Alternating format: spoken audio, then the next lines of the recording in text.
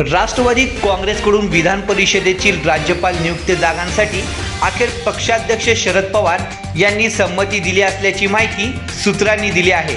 विधान परिषदेच्या एकूण बारा जागांसाठी शिवसेना राष्ट्रवादी काँग्रेस आणि काँग्रेस या प्रत्येकी पक्षाला चार जागा येणार आहेत. राष्ट्रवादीच्या कोट्यातील या चार जागावर कोणाला संधी दिली जाणार याकडे सर्वांचे लक्ष लागून राहिले आहे.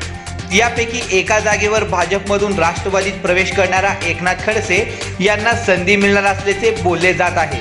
तर उर्वरित तीन जागांवर स्वाभिमानी शेतकरी संघटनेचे राजू शेट्टी गायक आनंद शिंदे आणि श्रीराम सरोदे यांना संधी दिली जाणार असल्याची माहिती सूत्रांनी दिली आहे. तर काँग्रेसचे नावही निश्चित झाल्याची माहिती समोर येत आहे. काँग्रेसचे प्रवक्ते सचिन सावंत यांना विधान परिषदेवर पाठवण्याचा निर्णय काँग्रेसने घेतला आहे.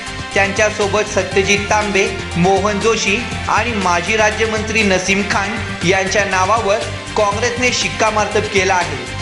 उद्या होणाऱ्या राज्य मंत्रिमंडळाच्या बैठकीत या नावांना मंजुरी मिळण्याची शक्यता आहे. तर शिवसेनेकडून उमेदवाराची चाचपणी सुरू असल्याची माहिती समोर आली आहे.